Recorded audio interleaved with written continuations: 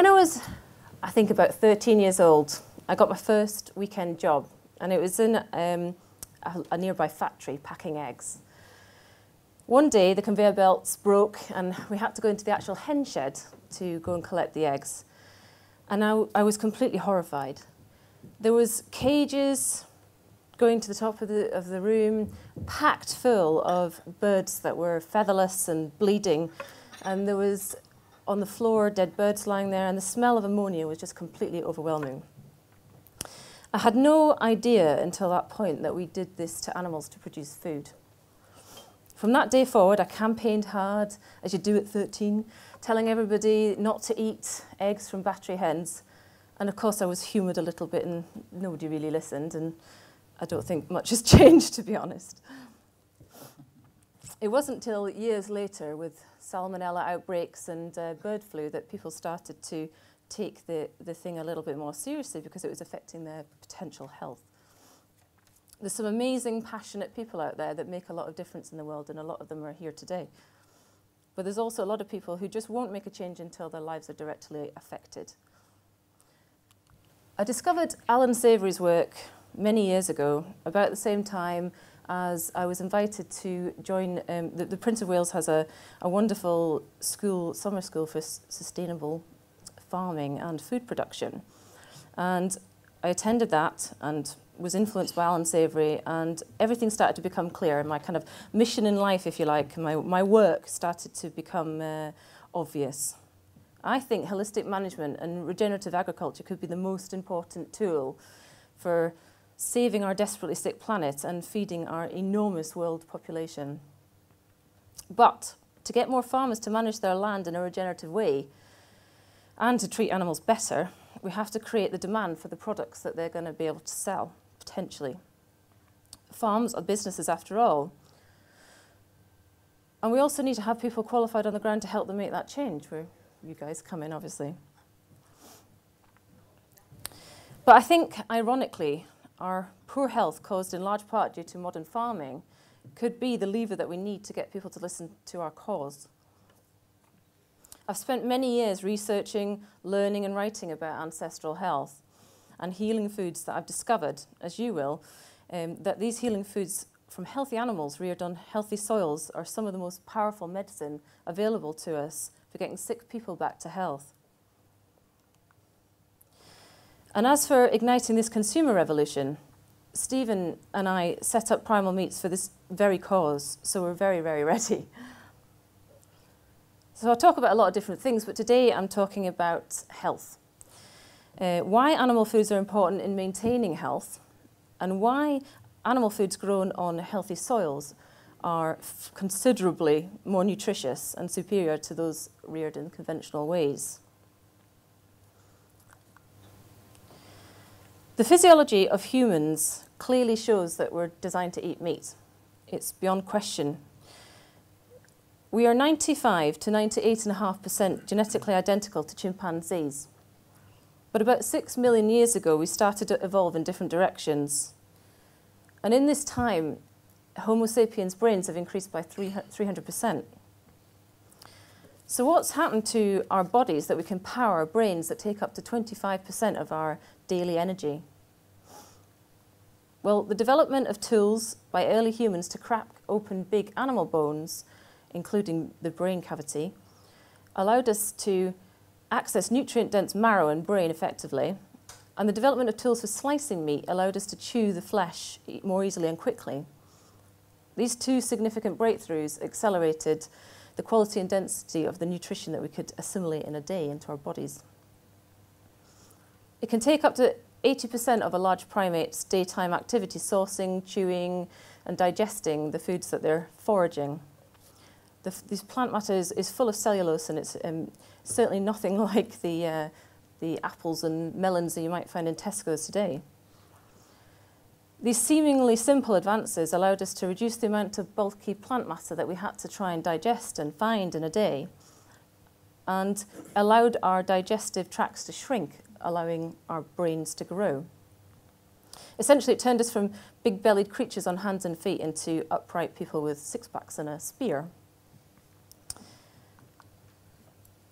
Cooking, it seems, was also an enormous contributing factor to pre-humans getting more nutrients in less time and allowing us to grow the big brains that we have today.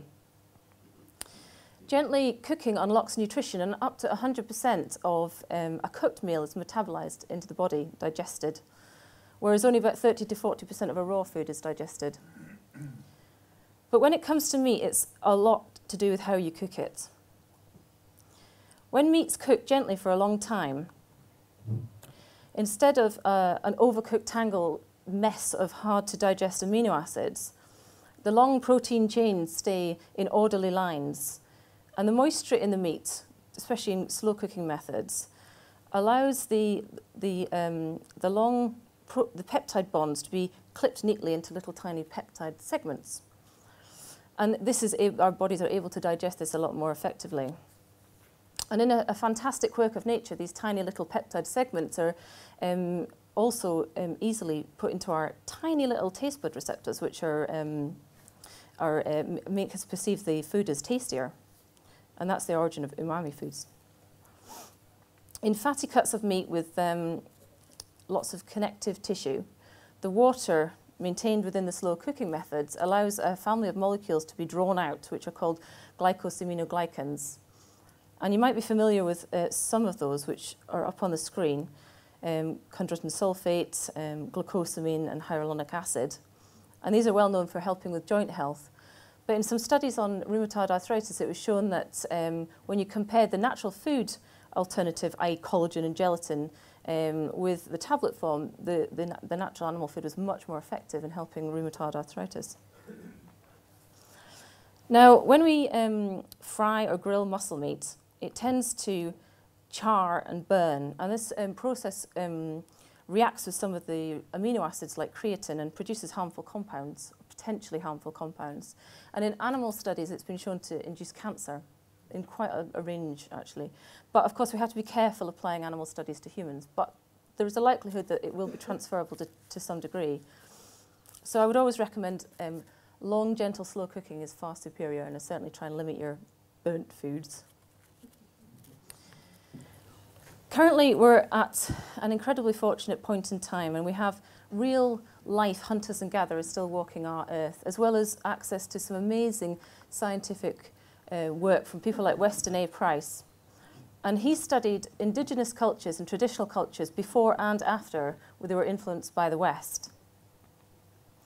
What's really clear is that this idea that we have some perfect diet that's fit for all humans across the world is a total myth both throughout evolution and still today, different parts of the world offer up different foods, and we've adapted incredibly well throughout the world to, to uh, eating them and, and maintain really robust health.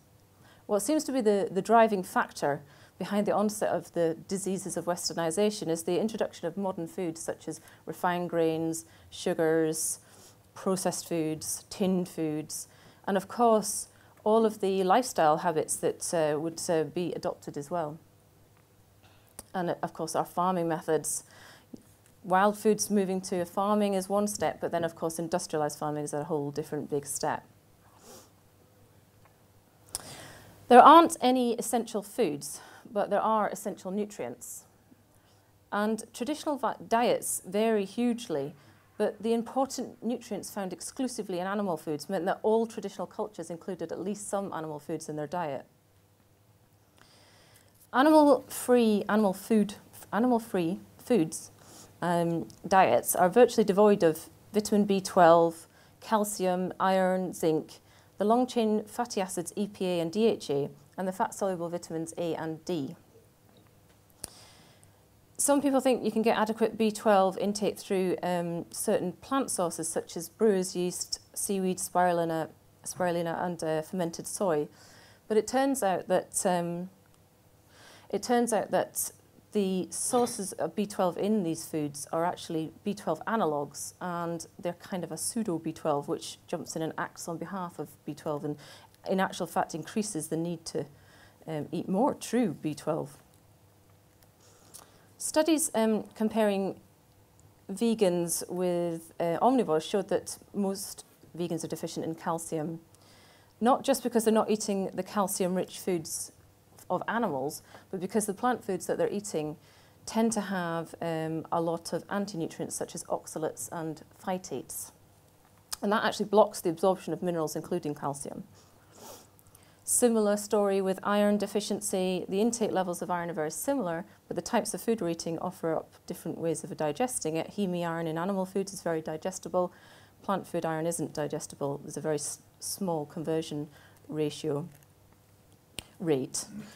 Um, and of course, they, they also have very high amounts of absorption inhibitors, which are blocking the absorption of the minerals. Same story with zinc. You compare um, vegans and omnivores, and the intake levels are very similar, but the actual amount of zinc being assimilated into the body is very low.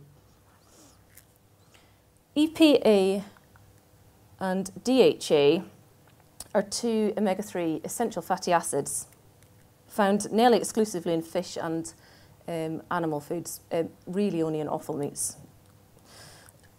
These long-chain fatty acids can help protect against diseases such as cancer, asthma, depression, cardiovascular disease, ADHD, autoimmune diseases. Really important and essential to us. Plants contain some omega-3, but it's in the form of alpha-linoleic acid. And some of this can be converted into DHA and EPA, but the conversion rates are tiny, about 5 to 10%. Also, the successful conversion into EPA and DPA relies on synergistic nutrients such as zinc and iron, which we've just said are not very high if you're not eating animal foods. Also, a critical factor is how many omega-6 fatty acids you're eating. If your diet includes a lot of seeds, nuts, vegetable oils, margarines, grains, and grain-fed meats, you'll be eating a lot of omega-6 fatty acids and that will interfere with the successful conversion of ALA into DHA and EPA. Our perfect ratio is, um, is one to one. And grass-finished meats, grass-fed and finished meats, tend to have a, a relatively equal percentage of omega-3 to omega-6 in their diets, um, in, in the food that's produced. And um, traditional cultures would have had a, a similar one-to-one -one ratio because omega-6 and omega-3 use the same metabolic pathways, so essentially omega-6 will outcompete omega-3. And in modern cultures, and especially those without meats in them or eating grain-fed meats, will be eating somewhere in the region of 1 to 20 or 1 to 30 even if in a very poor diet. So we're not benefiting from any of the omega-3s that are being eaten.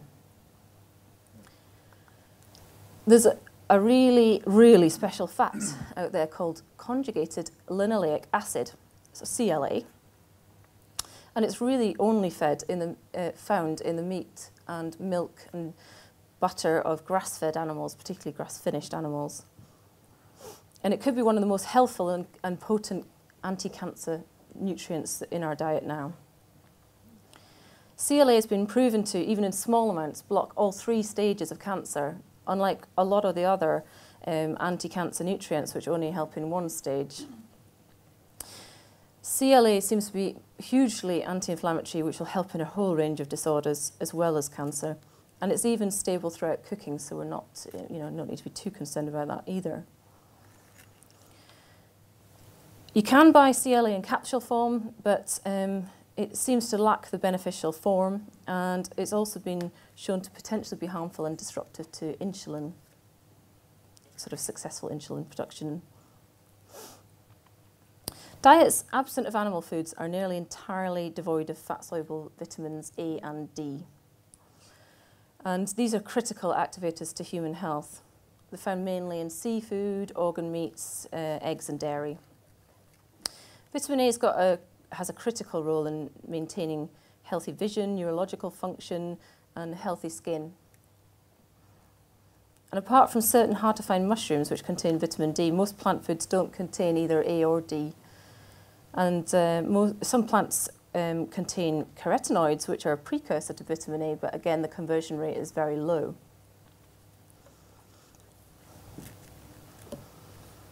To get the same amount of vitamin E, A, sorry, vitamin A, um, as a small portion of liver, you would have to eat 14 cups of carrots. Um, vitamin D levels, which is fine, but you won't be able to eat anything else afterwards.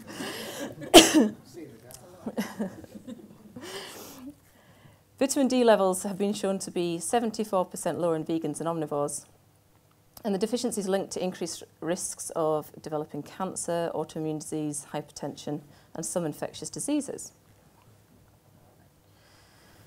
In 1945, Weston A. Price discovered through the chemical testing of organ meats and dairy products and eggs um, that were eaten by, eaten by exceptionally healthy traditional cultures an unknown fat-soluble activator co he called um, activator X.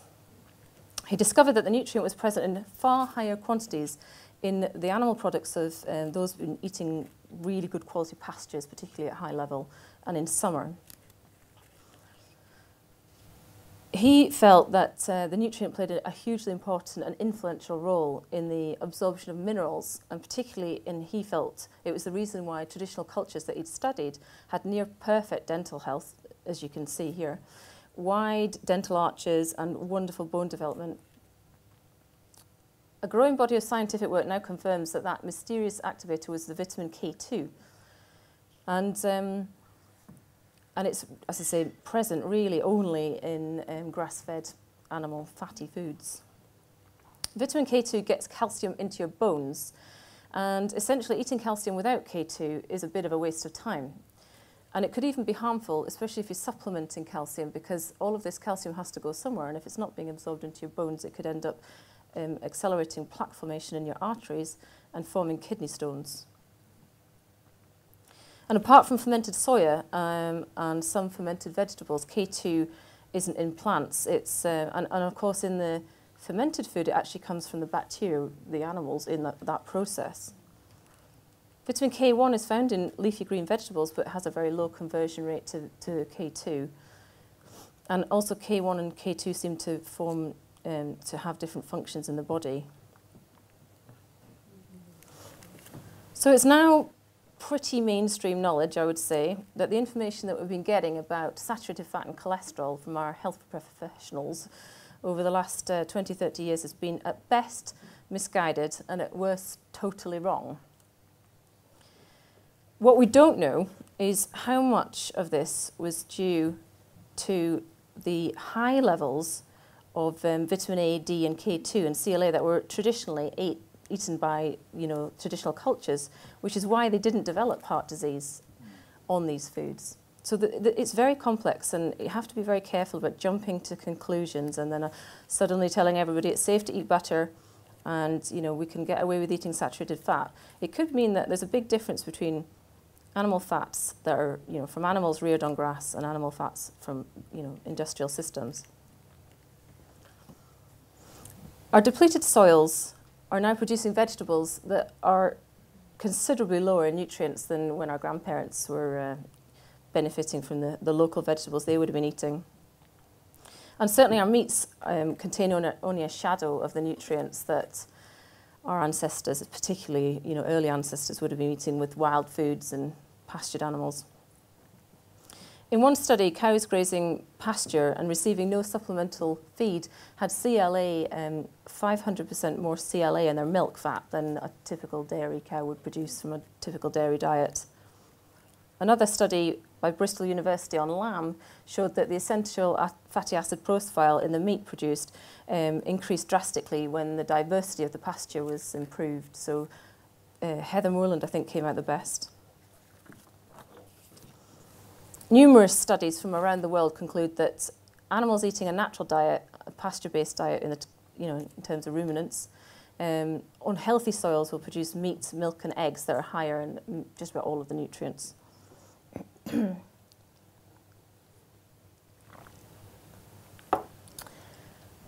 our genetics have been moulded by our behaviours and for hundreds of thousands of years we would have eaten the whole animal.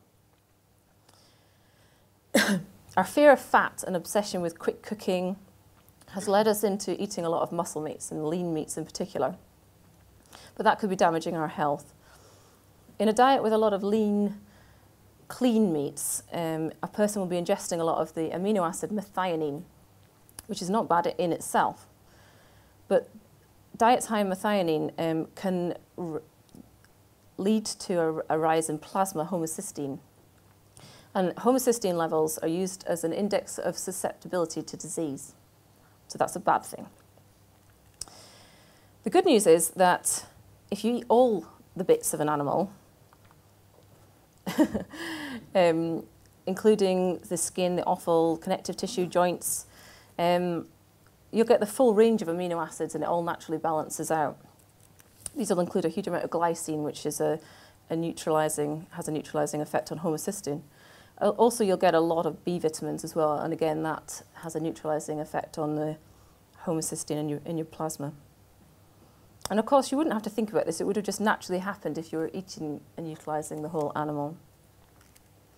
Have you ever wondered why, if you keep hens, you'll know this, that often the fox will go in and take the heads and leave the bodies, and it seems like it's a terrible, wasteful thing to do from evil animals. But in actual fact, they know that the nutrition, most important bit of nutrition is in, in the brain. And offal meats offer, by comparison to muscle meat, so much more nutrition. It's just overwhelming. But they've all gone out of fashion, unfortunately. Organ meat can even be a rich source of vitamin C in the absence of plant foods. And uh, the Inuit knew this in, intuitively and prized the adrenal gland of a moose to ward off scurvy. And in recent studies, they've shown that, in fact, that has exceptionally high levels of vitamin C. So they just knew this intuitively.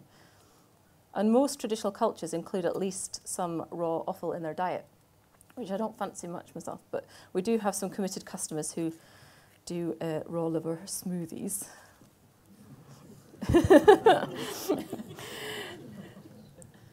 it's important when eating any meat, and especially organ meats, to try and go for um, foods that are from an organic system because the, um, the pollutants, the toxins, the pesticides, and the medicines used in modern farming can bioconcentrate in the fats and organs of an animal. So you don't want to be eating that. I feel it's really important to honour an animal when you kill it for food, and it, a part of that is eating every bit of it and making sure that it's all valued equally. And as a meat business, I can tell you that you can't make a profit unless you sell all the bits of an animal. It's a really critical part of it, which we heard about earlier, I'm glad to say. What happens is if you can't sell all of the bits of the animal, you end up going direct to wholesalers, and then you just ask for the bits that you can sell and you end up losing all of the provenance, and you certainly lose the ability to be able to influence that farming. But if you're like me and you're not keen on eating um, liver smoothies, um, try some traditional foods like haggis or black pudding or steak and kidney pie or there's loads of ways of getting really nutritious foods into your diet without sort of knowing about it quite so much. Just as we're beginning to understand the complex and totally astonishing world of the microorganisms that are living in healthy soils, we're starting to realize how important our gut flora is to our health as humans. A teaspoonful of productive soil generally contains between 100 million and a billion microorganisms. That's as much, much mass as two cows per acre. It's huge. In healthy soils, the soil biota and plants have a, an incredibly complex relationship that's beneficial to each other. The plants will thrive because all of the little critters have broken down the soil into a form that the nutrients can be absorbed easily from. And the plants can access the full range of nutrients because of this interplay between all of the different soil biota. It's, it's amazing, the, the, the fungi and everything, they're all passing nutrients back and forth to each other. And it of, often, um, because of all the activity around the root ball in particular, it protects against pathogenic threats too all of those wonderful minerals are being passed up into the plant, and then, of course, anything that eats it is uh, benefiting from all those minerals and vitamins too, including us eventually. In our guts, a similar exchange is happening. We feed the bacteria, and that allows us to access the nutrients in a, in a better way. And um, it protects us from, if we keep our bacteria healthy, it protects us from pathogenic threats too. Our guts contain 100 trillion bacteria. And maintaining, maintaining the number and diversity of this is critical to overall health. And our food choices and environment can really influence how healthy our gut flora is. Also, our gut flora and bacteria can help us adapt to eating huge variations in, in macronutrients across the world. um, which could be a really important part of sustainability into the future when we're having food shortages and having to adapt to eating what's available. But when we dress the soils with pesticides, um, fungicides and uh, herbicides, and we shake on a lot of fertilizer, we kill the life in the soils. And also the food that's coming into our homes from these soils is laced with um, toxic bacteria exterminating, you know, residues. Glyphosate is the number one herbicide throughout the world. And ingesting glyphosate is hugely disruptive to the life cycle and function of your gut bacteria, even in really small doses. It's compromising your ability to extract nutrients and it's, um, it's definitely harming your main defense against potential pathogens. We can't wash it off and it doesn't break down in cooking. And research by Friends of the Earth um, has detected glyphosate residues in 44% of urine samples tested from across 18 European countries, so that's not even the US. Industrial studies show that when livestock are fed glyphosate um, that will just come in feeds that are non-organic, um, the residues are that are found in those feeds are passing through the gut um, barrier and coming through into the organ meats and um, eggs and milk of those animals. So we're ingesting it that way too. And of course, glyphosate is just one of the many toxins used in farming nowadays that will just about guaranteed to be having some impact on our health and our gut flora. When we moved away from eating traditional foods and increased our consumption of processed foods and sugars and refined carbohydrates and being exposed to all of these nasty chemicals, we saw a profound drop in human health. Weston Price, um, studied this in indigenous and traditional cultures throughout the world, so he's, he's got a really broad scope of lots of different places throughout the world, but he studied the people of Lewis in Scotland. And um, he studied them before and after they were influenced by all the um, modern processed foods that were gradually being brought onto the island. And he noticed a huge drop in health, and the, the people on the left had been eating a traditional diet of oats, homegrown oats and they had this amazing system of taking the thatch off and using it as fertility on the soil. So it was really fertile soil. And they ate a lot of fish and fish offal um, and a bit of barley and some meats and milk. But uh, generally it was homegrown. Nothing else was influenced by the outside world. And then in about a 50 year period, it suddenly changed over to processed foods, tinned food, sugars brought in on the boats. And in that same period of time, the uh, Scottish Government health records show that the average height of people in Scotland dropped by four inches.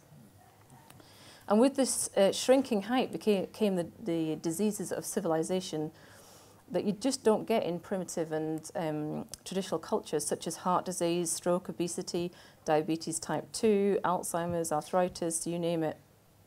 It came around that time.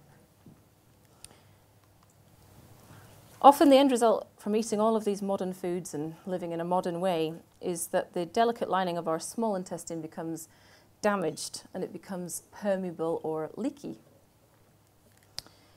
When your gut becomes leaky, the um, small intestine, the irritated small intestine, allows metabolic and microbial toxins to go straight through into your bloodstream. Our bodies, because they're clever, quite rightly, um, mount an immune response and tag these foods through specific antigen um, antibody markers as foreign irritants. Under these circumstances, our liver, endocrine system, lymphatic system, and immune response become compromised. And this can lead to the some of the most serious diseases, autoimmune diseases. Now, every time you eat this particular food, you'll have an inflammatory response to it, which is a food allergy or a food intolerance.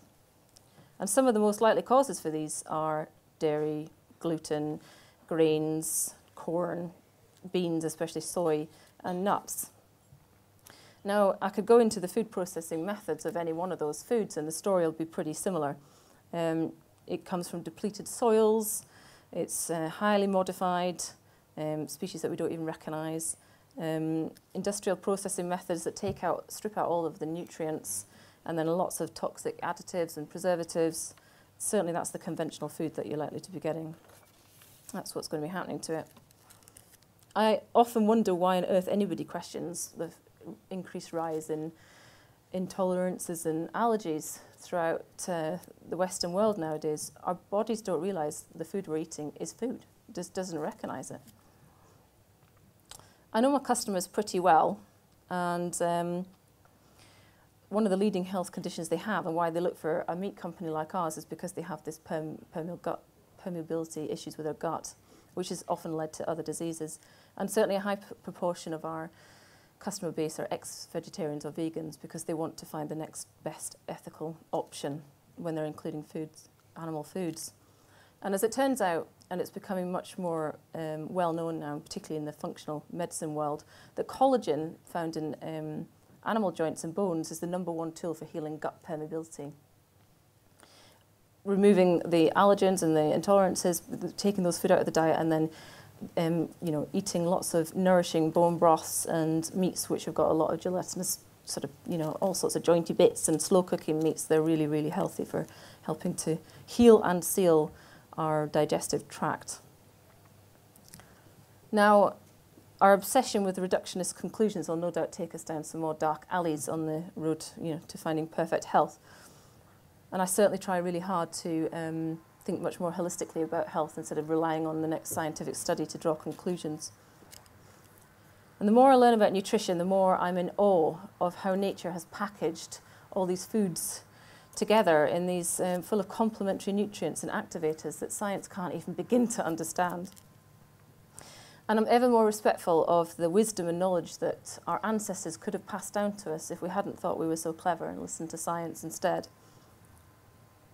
Everybody's different, and every part of the world is different. Each farm has different soils, and every animal can vary in health.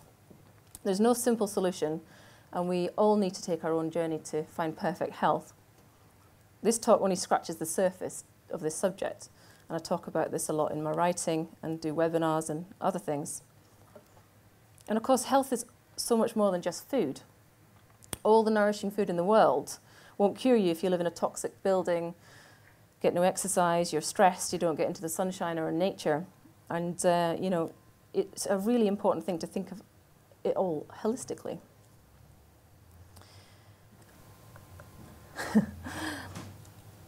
There's a template for, I'm going to put up in a second, a template for um, healthy foods that have been eaten by our cultures throughout a long time. And they allowed people to be extremely healthy while eating these foods.